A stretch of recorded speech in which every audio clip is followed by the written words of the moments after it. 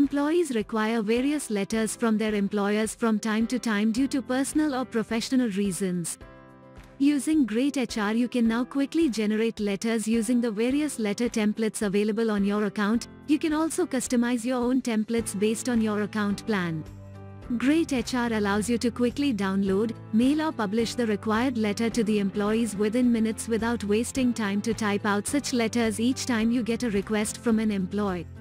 Navigate to the Generate Letter page from Employee Admin menu to get started with the letter generation process.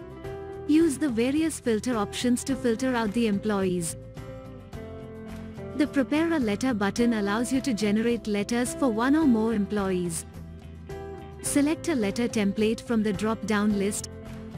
Also select the authorized signatory from here.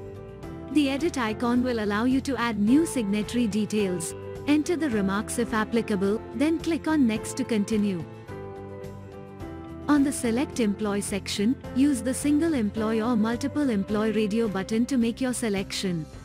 Use the Search Employee option to select an employee by using the employee's name or number. Click on Next to continue. In this section, you can preview the letter. Please note, you can always click on the previous button anytime to go back to the last step to make any changes. Finally, click on Finish to complete the task. You can now view the generated letter details on the summary page. Use the download icon to download the letter or publish the letter to the employee portal from here.